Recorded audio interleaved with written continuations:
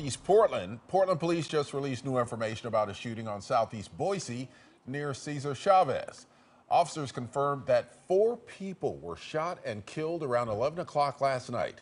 Portland police say all people were found dead when they arrived at the scene. No information has been released on a suspect. We'll let you know what develops. And also breaking.